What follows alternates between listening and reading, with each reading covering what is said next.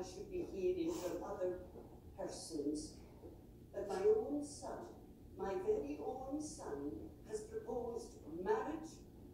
Why was I kept in the dark about your